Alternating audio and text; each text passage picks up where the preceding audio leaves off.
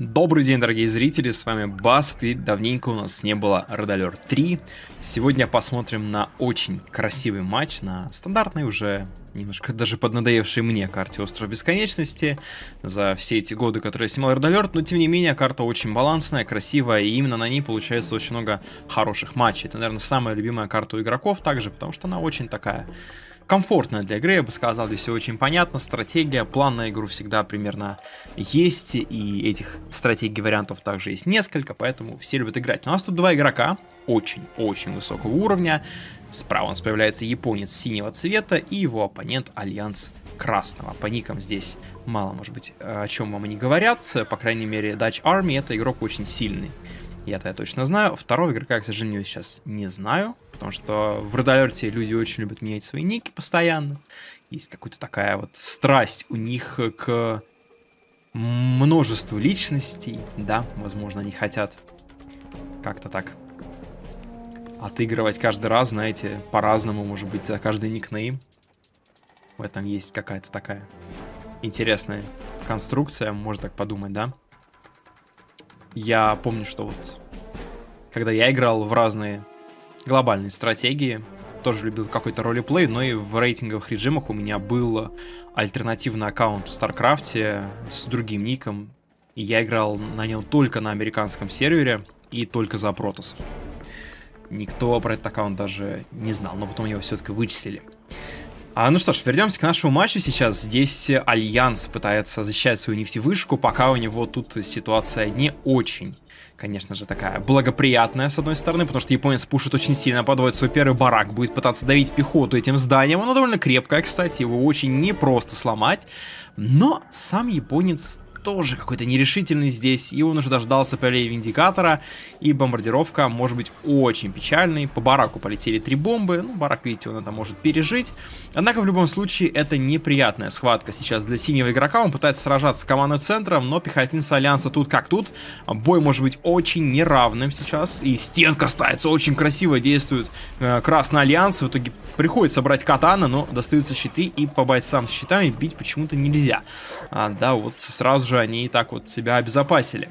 Такая вот игровая механика, игровая условность в Red Alert 3 существует. Но японец идет дальше, ему это, в принципе, не проблема. То есть он думает, что может где-то еще найти потенциальный урон, какое-то окошко возможности. Приезжает еще один барак, там очень сильно дает всю пехоту. Но Альянс как-то отбивается. Да, немножко странно он это делает на самом-то деле. Да, такая вроде небольшая группа пехоты, но он ее очень сильно опасается. Ну, может быть и не зря, потому что бараки могут все легко подавить. Ситуация может выйти из-под контроля, как это происходит сейчас.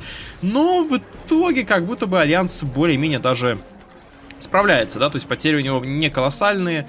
Да, он потерял пехоту, но он построил третью базу, он э, все еще контролирует нефтевышку, однако вот сейчас здание можно будет перехватить, вот это вот маленькое, да, эту гражданскую постройку и спокойно здесь забирать эту самую нефтевышку. Так или иначе, в любом случае, это не прям э, какой-то мега будет ущерб, даже если он ее потеряет, но все-таки это неприятно. Нефтевышка это такая вот штука, которая может решить игру в долгой партии, когда, знаете, уже все ресурсы выкачаны, все кончаются, базы старые с золотом, и это, конечно, постоянный источник пассивного дохода. Но его теперь больше нет. Однако для Альянса это не прям такие поражения. Проблема в том, что будет дальше. Да, здесь уже начинается довольно жесткий пуш. Сейчас идет от японцев. Продолжает своими курочками, вертолетами с ракетами. Они могут трансформироваться в боевой вертолет, который будет бить уже по наземным целям. У Японии все юниты это трансформеры. Да, вот такие вот. Ну, вообще, RDL 3 стереотипная игра в целом довольно, поэтому она забавная в какой-то мере популярна. Здесь появляются первые баги у американца. Сложно что-либо сделать с ним на самом-то деле. Да, он все-таки один, вертолеты могут с ним легко расправиться. Но, как видите, игрок за Японию действует более даже грамотно, чем я бы поступил уже в этой ситуации. Да, я бы уже, наверное, сразу бы нажал кнопку, пытался бы взлететь ими. Он пытается вот подманить, во-первых, противника поближе к себе, чтобы сразу забрать эти машинки, быстро очень. И также он опасался, конечно, от этих Аполло, которые эти вертолеты как раз сейчас и пощелкали. Но подходит Тенгу, несколько еще истребителей от Японии, и все-таки не хватает здесь сил, чтобы справиться у синего игрока. Истребители Альянса намного сильнее, чем истребители Японии, но как вы понимаете, истребители Альянса, они не могут трансформироваться. Цирке они не уступают, и другие еще у них есть минусы. Японские юниты все в целом намного более универсальные, но, как правило, они также более слабые, да, то есть э, могут делать все, но все делают посредственно, я бы это так описал. Теперь танк, кстати, у Альянса Страж, такой среднячок, на самом-то деле, в мире Родолерта, он сам по себе сильнее японского танка, но у него главная способность это лазерная указка, которая повышает урон по конкретной цели, в том числе по зданиям, кстати, поэтому можно с даже одним таким танком в армии очень сильно максимизировать свой урон, накладывая такой вот жесткий debuff на юниты противника. У японцев проблема на самом деле, потому что танковый push начинается, Альянс, как правило, танки вообще активно не строят, они тоже, вся техника у Альянса не такая прям тоже жесткая, как у Советов, например, но все-таки это хорошее начало, здесь замораживающий луч проходит по комбайну, его можно перехватить, но Альянс, видимо, хочет здесь так прям нагло подраться с танками, активируются маски, это топ-защита для Японии, танки сливаются в апокалипсис, но они не совет, они не могут объединиться, все-таки, как видите, коллективизация не проходит, и танчики немножко отваливаются здесь по одному. Не очень хороший момент здесь происходит для, конечно, красного игрока, к тому же здесь, видимо, была какая-то попытка опять атаки, или это просто все те же самураи, которые продолжают сражаться уже 10 лет, но все-таки, видимо, Альянс решил, что все, хватит хватит, эти окупасы уже сильно здесь надоели. И выселяет их из дома вместе с самим домиком. Ну, немножко не пощадил здесь, конечно, застройку. В то же время вылетает здесь один индикатор. Бомбы сбрасываются комбайн, это несерьезный урон, конечно, потребуется очень много таких вылетов, а вот у японцев сейчас может получиться что-то более жесткое, у комбайнов, естественно, у Альянса защиты нет, и, конечно же, сейчас сложно приходится красному игроку, ему приходится одновременно возвращаться домой, да и комбайн вынужден трансформироваться в постройку, лишь бы его не забрали. Это, конечно, минус. Комбайн можно будет потом продать за очень небольшую цену, хоть какие-то деньги получить назад. Но, как вы понимаете, это все равно намного хуже, потому что комбайн теперь нужно отстроить отдельно. Он стоит тысячу, и это, конечно, очень неприятно. Все это время он, естественно, не добывает ресурсы. Но, так или иначе, по экономике ребята равны. Немножко сильнее экономику японцев за счет нефтевышки, но я уже говорил, что это не серьезно. Нефтевышка это где-то треть от обычной базы, да, как бы, ну, то есть у него три а, и одна третья э, в итоге ресурсных сбережений, можно сказать так, у Альянса же просто три. Ну, короче, разницы никакой нет фактически, да, это незначительно, тем более, что пока я это вам объяснял, нефтевышку уже уничтожили, все, что я говорил, в принципе, уже не актуально.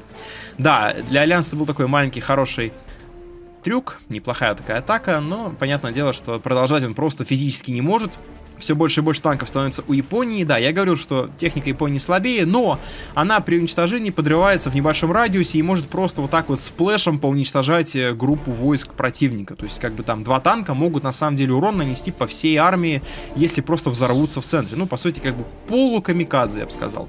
Поэтому, да, нужно быть осторожным. Японец идет в атаку. Для японца танковый стиль игры тоже очень непривычный. Вообще, это какие-то два совершенно не таких неортодоксальных стилях встретились сейчас в этой партии, потому что, ну, как правило, играют совсем иначе. У японцев это обычно много авиации и пехота, у Альянса это много авиации и пехота тоже в каком-то плане.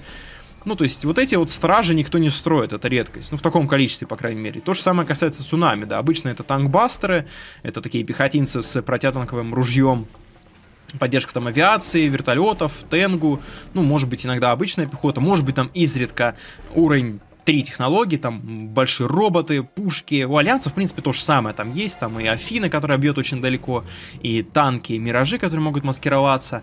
Но вот почему-то они решили вот так вот. Да, ну, не знаю, не знаю. Это потому, что у Альянса, кстати, самая сильная пехота в игре, так что тоже было бы логично. Но, да, у Цунами есть очевидная фишка. Почему они называются Цунами? Потому что они могут прийти со стороны воды как цунами и сносить все на своем пути. В этом плане, ну, название, согласитесь, оно как бы хорошо ему подходит, да, то есть... Страж, как бы, это просто такое дефолтное название. Ну, страж и страж. Что в нем от стража? Я не знаю, что в нем от стража. Да, вот цунами прям, ну, буквально вот она. Вот она, эта метафора, мы ее сейчас видим в деле. Альянс это только что заметил, в Red Alert е на самом деле очень большой обзор у постройки вообще всех юнитов, да, это немножко странная механика игры, но так и есть, то есть, да, видите, он успевает среагировать, хотя, казалось бы, в любой другой стратегии это было бы просто невозможно, но в Редалерте все возможно, и поэтому он успевает. Танков, тем не менее, очень много. Немножко, видите, добавил баги с ракетами. Они бьют, в принципе, больно по технике, но не так больно, как хотелось бы. Танки уезжают назад, но не хватает сейчас сил немножко здесь у японца. Однако наступление продолжается. Цунами продолжает захлестывать всю эту армию Альянса. Здесь ставится уже турель в защите, в надежде, что удастся спастись. Ну и действительно удается, но какой ценой, да? То есть, если сейчас будут потеряны все эти базы, то, мне кажется, это будет э, поражение Альянса. Даже если он как-то отобьет эту армию, уничтожит ее, но потеряет экономику, это будет просто первая победа, после которой он все равно потерпит поражение через там какое-то время. Но японец что-то тоже очень так пассивно действует, я не очень понимаю, почему, зачем, но тем не менее. Факт есть факт, да, он пока просто очень пассивен. Заморозка сейчас пошла хорошо, могла бы залететь, да, но не хватило. Чуть контроля здесь, и у Альянса проблема. Активируется бонус на ярость, причем активируются бонусы на технику противника. Наверное, для техники противника он должен снижать урон. И как будто бы Альянс здесь не отбивается, мне кажется, но не знаю. Пока экономика не убита, это ничего не значит на самом-то деле. И опять-таки, это важный аспект. Почему он сейчас не ломает стены, я не совсем понимаю, не могу вам ответить на это. Но у японца там уже четвертая база работает тем временем, поэтому, точнее, только-только начинает работать, но все-таки. И все же он все равно не может пока добить противника, но пытается очень-очень сильно. Он прям хочет это сделать здесь и сейчас. Но опасается. От чего он опасается? Я не понимаю, честно говоря. Да, ну здесь одна турель, ну и ты ее легко снесешь. Слева вообще ничего нет. Ну, ну кажется, пора ломать стенки. Или это какой-то байт. Вот нет, все-таки он начинает уничтожать один из экстракторов. Но просто продается. Альянсу очень тяжело здесь обороняться. То есть, да, но у него никакого преимущества нет. То есть, у красного... Да, по-прежнему танки все более сильные, более эффективные, но, опять же, в таком количестве уже я начинаю в этом сильно сомневаться. Мне кажется, в таком количестве разницы особой нет. Но японец все-таки не заканчивает эту партию по неизвестной мне причине, хотя следовало бы это сделать уже давно, но что-то вот, что-то вот не хочется, не хочется ему, не хочется. Пытается подраться снова сейчас здесь Альянс. Красный игрок э, немножечко напирает, но похоже, что ситуация немножко будет урегулирована. Сейчас, может быть, будет какое-то затишье, да, на время на фронте. Ну а пока это затишье будет, давайте возьмем маленькую паузу. Кстати, если вы хотите купить какую-нибудь новую игру, воспользуйтесь сервисом Купикод. Купикод это целая игровая экосистема со множеством функций и выгодных предложений. Давайте я расскажу вам про те, которые вам точно понравятся. С помощью Купикод можно пополнить кошелек Steam с самой низкой комиссией на рынке. Весь процесс очень быстрый и безопасный. От вас потребуется лишь ваш логин Steam, а также мой промокод BASSET. С ним комиссия пополнения будет на 2% ниже. Кроме того, сейчас проходит уникальная акция, и по промокоду BASSET3W вы можете пополнить кошелек Steam вообще без комиссии, при условии, что это ваше первое пополнение на сайте по данному логину Steam. Здесь также можно пополнить кошелек Steam в Казахстане и есть удобный калькулятор курса. А с недавних пор еще можно пополнять аккаунты в долларах. Кроме того, у Купикод есть подарочные карты других регионов, таких как Турция или Аргентина по выгодным ценам. А для постоянных пользователей всегда есть кэшбэк за каждую покупку. Кроме этого, на Купикоде вы можете приобрести игру гифтом на свой российский аккаунт Steam. Самое интересное, что здесь можно купить даже те игры, которые вообще недоступны в РФ. Это, например, тот же Age of Empires 4 и Company Heroes 3, которые вы видели на моем канале, а также очень многие другие новинки и не только. Процесс покупки очень быстрый и легкий. От вас потребуется лишь ссылка на ваш аккаунт Steam, а также мой промокод BASSET, который снизит стоимость еще на 10%. Затем оплатите товар банковской картой и примите в друзья заявку от бота, чтобы получить игру. На сайте также проводятся разные розыгрыши, в которых вы всегда можете принять участие. Переходите на сайт по ссылке в описании и не забудьте про мой промокод. Итак, к этому моменту Альянс уже отстроил базу, Ничего сильно, конечно, не поменялось, но при этом японец подвел еще больше техники. Маленький плюс, который здесь был для Альянса, это то, что сам японец, он почему-то решил, что этой армии ему не хватит, и он решил перестраивать войска в пехоту. Что довольно странно, на мой взгляд, мне кажется, можно было просто танками противника дожать окончательно, но вот он решил пойти таким путем. Заморозка идет очень хорошо, отвлекает сейчас его в это же время одним волнорезом Альянса. Заморозка в итоге забирает несколько танков. Это очень неприятно было, это может немножко повлиять на ход игры. И, конечно, да, видите, что здесь немножечко не рассчитал, видимо, игрок за Японию, вот этот один волнорез, такой катер с торпедами и пулеметом, ну, он забрал одного комбайна. То есть, да, это не серьезный урон, конечно, учитывая, что остальные базы спокойно работают, но все-таки Альянс сейчас нужно делать хоть что-то, чтобы просто в эту игру вернуться, потому что ну, просто сражаться один в один, ну, мне кажется, плюс от этого не будет особого, и, как видите, очень хорошо микрит игрок за Японию, практически все юниты успевают отойти в водичку, где они находятся в недосягаемости, активируется снова бонус на атаку, но очень хороший focus fire ждет от Альянса, Альянс именно целится по одному танку за раз, очень старается очень быстро их деактивировать, уничтожать. И посмотрите, как хорошо он здесь микрит на самом-то деле. Просто великолепно. Отходит снова, правда, уже, конечно, в тылы свои. Но, опять же, почти вся танковая армия японца потеряна. Танки пытаются сближаться в нее, чтобы подрываться, как раз, видите, вместе с Альянсом. Здесь уже появляются ветеранства, как у этого бойца. Ветеранство повышает урон. Это очень важный бонус. И в итоге просто уходит сейчас в сторону остатки армии Японии. У танков активируется ускорение, которое позволяет им получить меньше урона, но они не могут стрелять. И как бы в итоге все, танковую армию Японию уничтожили. Да, цунами заканчивается. Но авиации-то как много. Ой-ой-ой, ну, садится, ой, что ж ты делаешь? Игрок за Японию очень сильно сейчас рискует своими тенгу, он решил подраться с танками, ну, в общем-то он с ними справляется, конечно, но это только те танки, которые попали в котел, а вот что касается тех, которые сейчас находятся дальше, да, с ними справиться уже так просто не получится очень странно играет японец, то есть он пытается как-то своего оппонента перехитрить на э, свичи технологии, да, то есть пытается менять свои ну, свой состав армии, точнее, даже не свой, не свой стиль игры, скорее состав армии, чтобы просто вот так вот в какой-то момент подловить противника, потому что, ну, вполне вероятно, мог тот же Альянс сейчас э, построить второй аэродром и начать бомбить, например, танки, да, тоже был бы норм вариант. Он мог пойти в большее количество пехоту, например, да, тех же ракетчиков. Но нет, он продолжал строить танки, и как-то это вот, э, этот трюк со сменой техники не сработал совершенно. Не очень мне понятна игра японца, я бы оценил, что все-таки красный игрок, он, ну, я знаю точно, что он более опытный, не знаю, точнее, насколько он более опытный, чем его оппонент, но я знаю, что это опытный игрок. Синий вроде как тоже вот на старте игры он показывал просто хороший микроконтроль, довольно грамотные решения, но вот последние 5 минут я начинаю сомневаться в его способностях, потому что, ну, во-первых, можно просто снести две базы, да, и это как бы уже очень бы тебя усилило. В итоге просто сейчас приходится продавать локацию, потому что была заморозка по зданию, и из-за этой заморозки по зданию был риск потерять всю базу добывающую, пришлось ее просто продавать. В то же время десант маскируется под э, комбайн этот БТР и уничтожает он уже этого старателя, добытчика. Очень неприятно, но... Очень неприятно, но Опять же, я уже говорил, что до этого, мне кажется, шансы были очень хорошие у японца закончить партию просто одной атакой. Он как бы эти шансы немножко прозевал. Но сам Альянс тоже выходит драться в центр, где у него нет какой-либо защиты. Здесь БТР может спокойно забрать и второй комбайн при желании. И тут, похоже, будет начинаться уже совсем скоро какая-то большая битва. Да, очень опасно действует игрок за Альянс. Он вышел слишком далеко, его блокируют сзади Тенгу, очень красиво. И в итоге приходится же продавать постройки, чтобы лишь бы хоть какая-то пехота была. Смотрите, шпион активируется здесь, шпион перехватывает несколько Тенгу. Не знаю, хватит ли этих сил все у Альянса, чтобы отбиться. А, Тенгу действительно смогли немножко помочь. В то же время там, похоже, БТР со шпионами нет. Он вроде как не был уничтожен или были, может быть, убиты сами пехотинцы.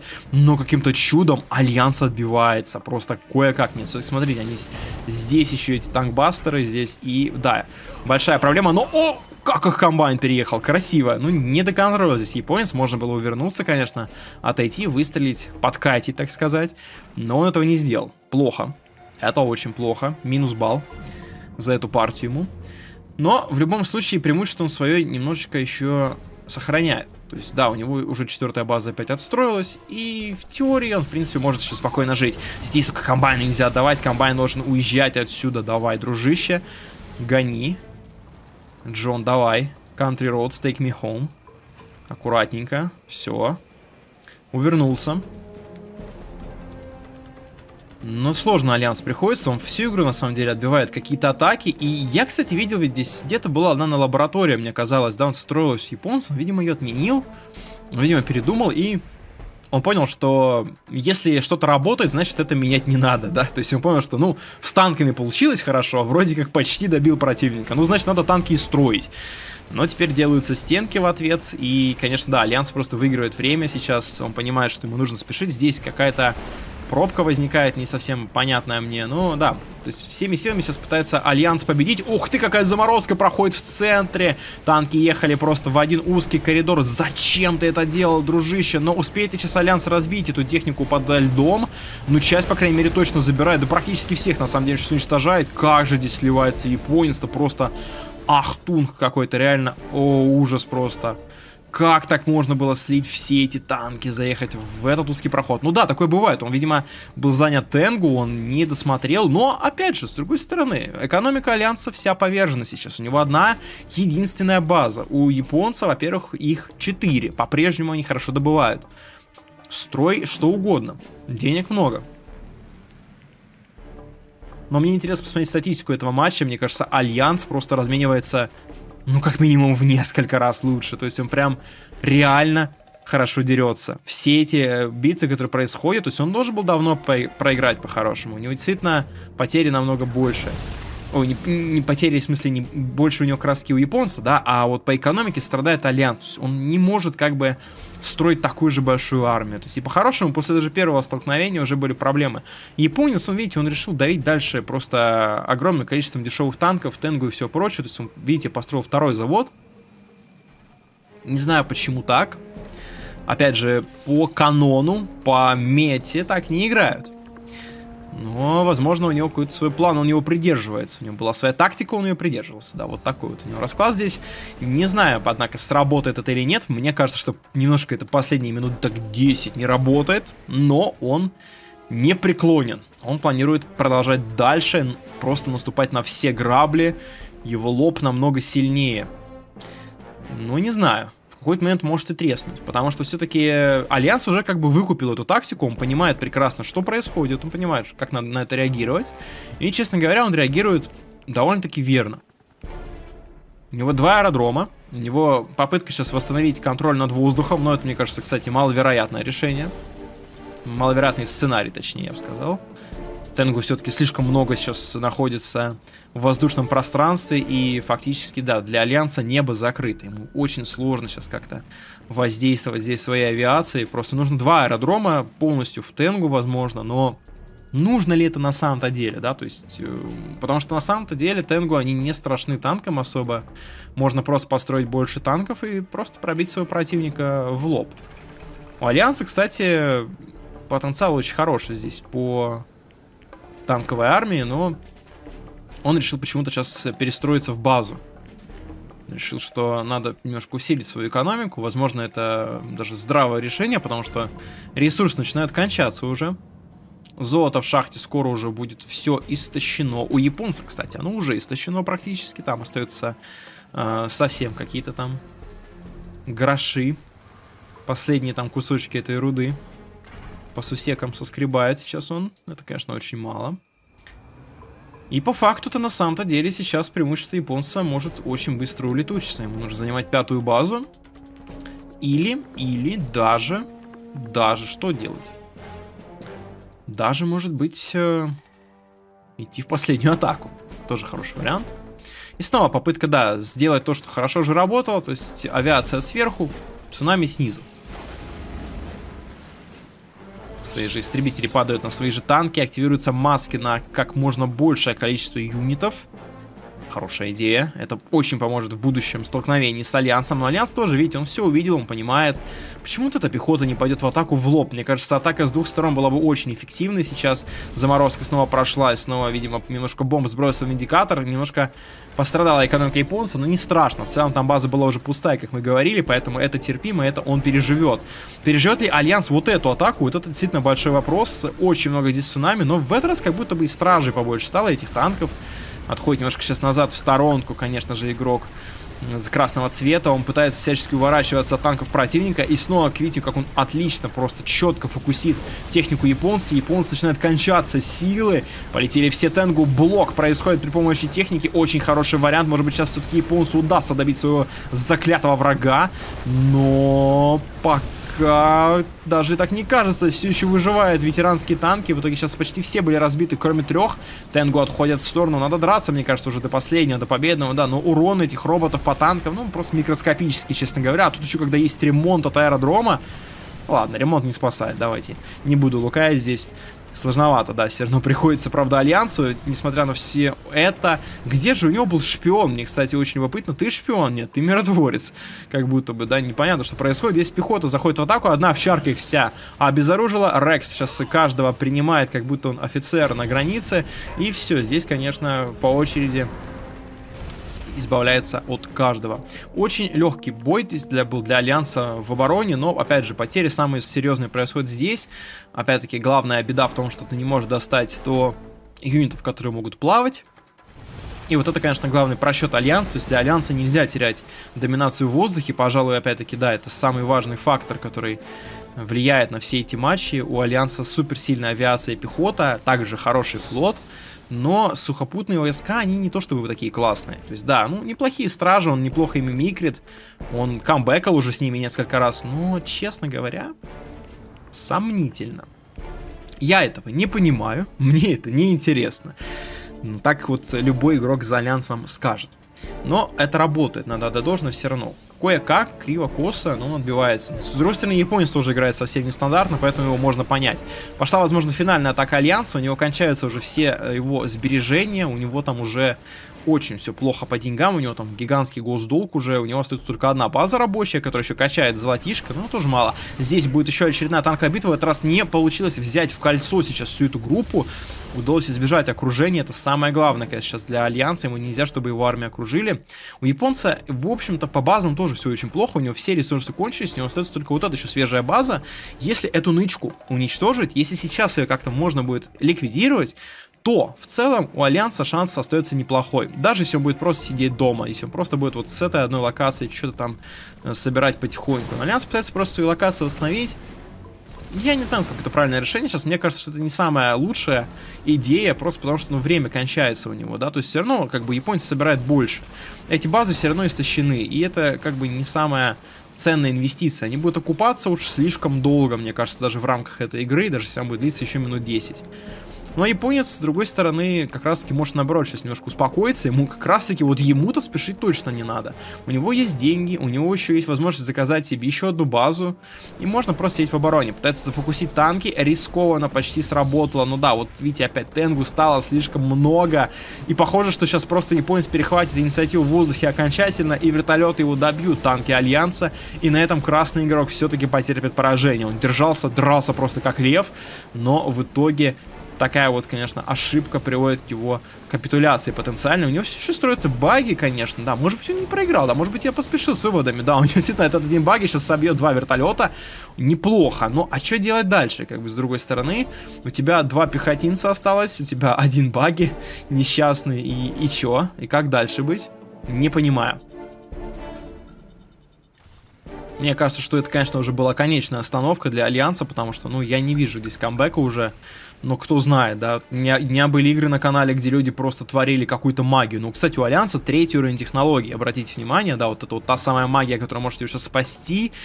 Ну, один танк против такого количества тенгу, да, вот это один элитный хамелеон появляется танк, который бьет очень больно и может маскироваться, но проблема в том, что танк очень хилый также, он очень-очень мало урона наносит. Японец, кстати, все это время держит какой-то мобилизационный резерв, обратите внимание, у него постоянно какая-то группа войск на центре карты, которая просто стоит и отдыхает на центре карты, да, то есть никогда... Вот один раз он атаковал одновременно и просто, конечно, слил свою пехоту на собачки, что было немного нелепо и грустно, но... Тем не менее, мне кажется, эта атака могла быть перспективной, если бы все-таки чуть он там помикрил, чуть-чуть лучше бы сложились обстоятельства. Но так или иначе, от, от этого больше пользы даже от такой плохой атаки, чем просто стоять дома и ничего не делать. Как же ему не хватает сейчас базы, я просто больно это смотреть, на самом деле. Вот она, да, вот она выехала, основа, так сказать, база обогатителя, которую он теперь разложит где-то, где Альянс ее не достанет. Альянс ее никак не достанет, реально, потому что у Альянса, что у него вот этот вот купол, это шапочка из фольги на всю базу. И да, это спасет, может быть, даже от атаки вертолетов, но... Что же хочет сделать Альянс? Давайте я объясню. Он хочет при помощи хамелеона прикрыть баги, и тогда вертолеты не будут видеть ракеты и баги, которые в них стреляют. Им нужно будет сначала добить танк хамелеон.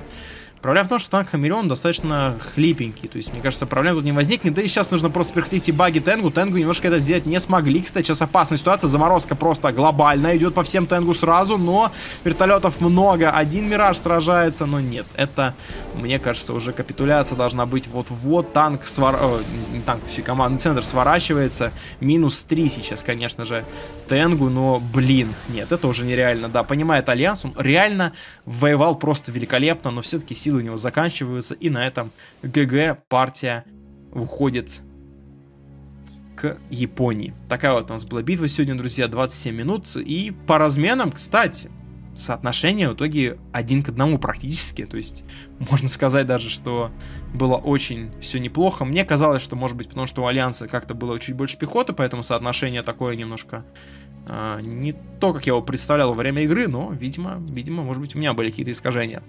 На сегодня все, друзья. Спасибо, что смотрели. Если вам нравится мой канал, можете подписаться на Boosty, заходите в мою телегу и паблик ВК. На сегодня все. Желаем всего хорошего. Всем пока и до новых встреч.